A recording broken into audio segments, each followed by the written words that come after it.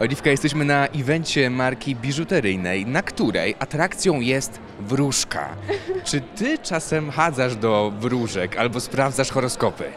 E, horoskopy tak, e, do wróżek nie chadzam i chyba dzisiaj będzie mój pierwszy raz. E, Czyli pójdziesz? E, tak, chyba skorzystam, ale trochę się boję.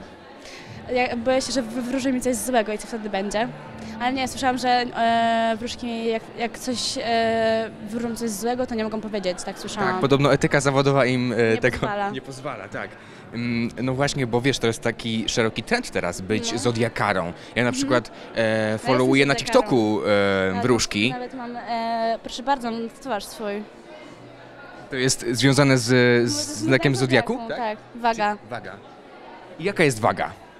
Waga jest e, szalona, otwarta, przyjacielska i jest moim zdaniem najlepsza. Jest, jedna, jest jednym z najlepszych w ogóle e, zodiaków, moim zdaniem przynajmniej. Em, no, no i tyle. Kto najbardziej pasuje do wagi? Bo to też się da rozczytać, prawda? Waga.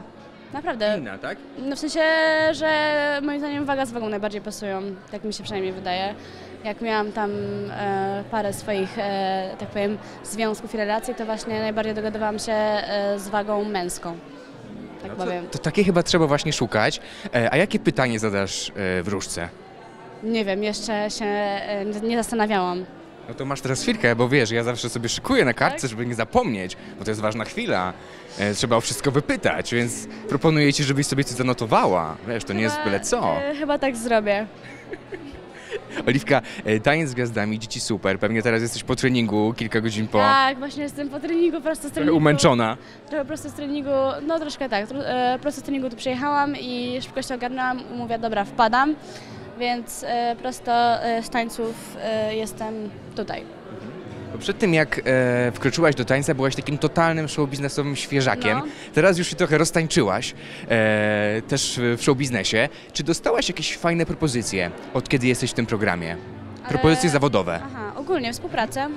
No dostałam parę propozycji, ale na razie nie będę mogła zdradzać. Jest to tajne, poufne.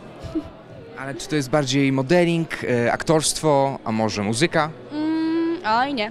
Nie? Mm-mm, nie powiem. Coś jeszcze zupełnie innego? Nie powiem. Okej, ale, ale ruszyła, machina ruszyła, tak, rozumiem. Tak, ruszyła. Czyli taniec, ci, taniec z gwiazdami ci pomógł w karierze, którą, którą zaczynasz de facto. Tak, jak najbardziej.